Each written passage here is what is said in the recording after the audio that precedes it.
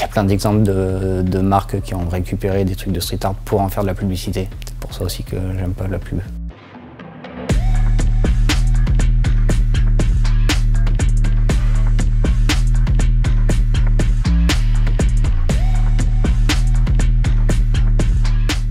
Je pense que la majorité des street artistes vendent rien.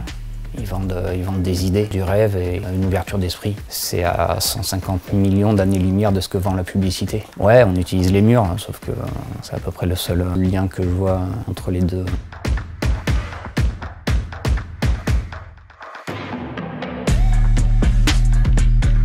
La pub est tellement cloisonnée dans une manière de faire pour te faire dépenser et comme ça, et avec ta carte bleue. moi, je pense que c'est l'un des mots principaux de notre société, euh, la publicité et la, consommation. Donc, si on pouvait euh, utiliser euh, tous les supports de la pub pour faire autre chose et donner, donner une vision autre du monde et de, de tout ça, ce serait, ce serait super.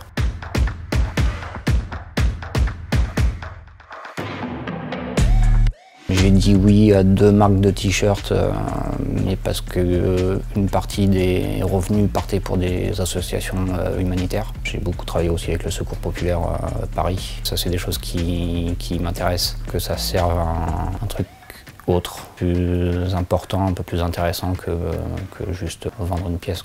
Il y a certaines de, certaines de mes pièces que j'ai fait moi ici, que j'ai vendues, ou euh, une partie ou l'intégralité, euh, j'ai reversé à des associations parce que je pense que euh, l'art sert à ouvrir les yeux et à ouvrir l'esprit sur plein de choses. Et que si en plus ça peut, dans le monde dans lequel on vit, si ça peut ramener un peu d'argent pour des gens qui ont vraiment besoin, c'est bien.